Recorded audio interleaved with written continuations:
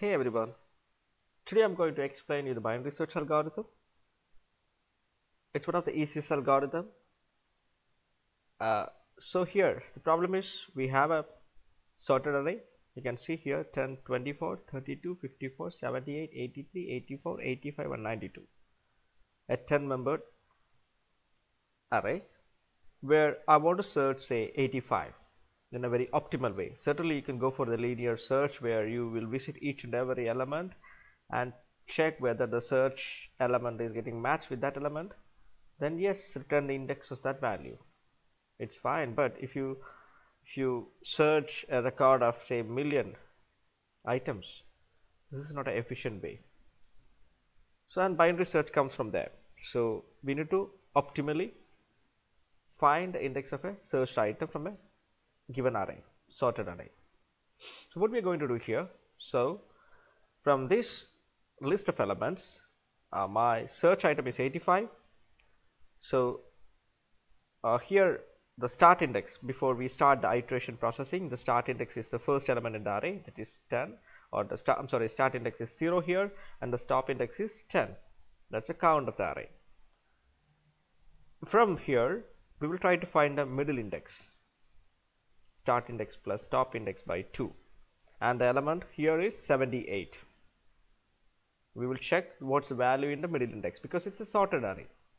And what we will do we'll just search whether this value is greater than or smaller than the search item.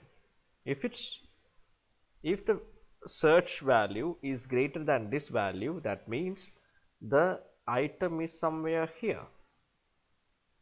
In the other condition it will be somewhere here.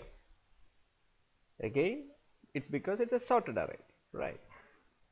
So in our condition so we have we have checked 78 is or 85 is greater than 78 that means we can easily move the start index to the next item right after the 78 which is 83 okay now we have got a second portion of that array.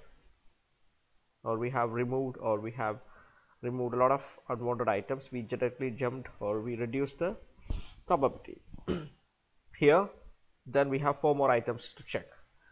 Again the start index is uh, here. Stop index we will check what's the mid index. And we got 85 and we will check whether the value at mid index which is 85 is equal to 85 yes. We found item. Simple.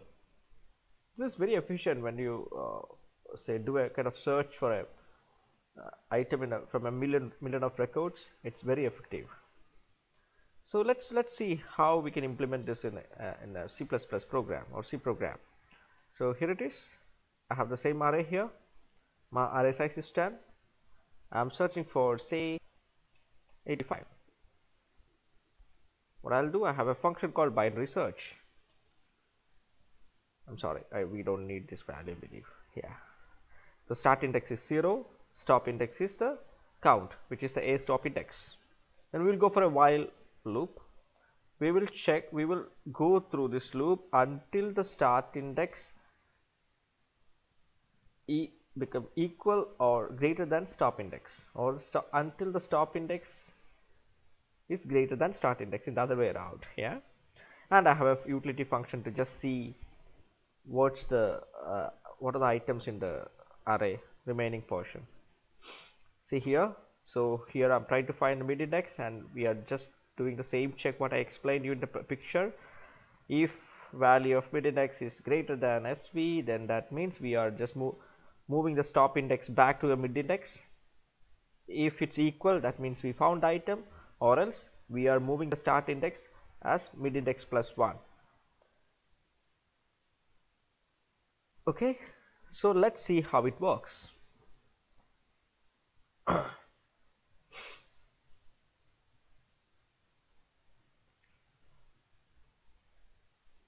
sorry I have some antivirus application. So here you can see the array. So from the array for the first iteration we are picking the 78 and we are checking whether 78 is smaller than 85 yes. Then we are moving the start index further 78 then the start index will become 6 stop index is stop index remains same.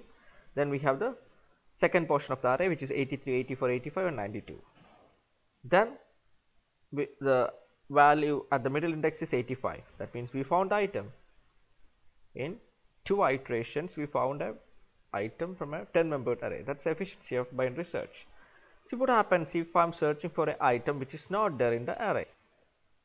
Say 100 what happens here? I would like to explain the the while condition here. Here. So you're searching for 100 which is not there in the array. Yes. So here we are pick we are doing the same search.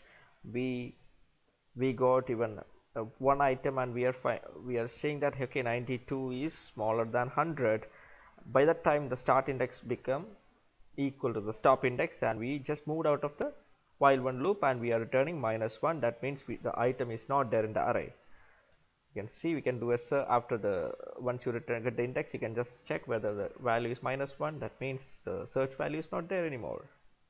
So that's all about binary search you can you can find the example code from the, my github profile. Thank you very much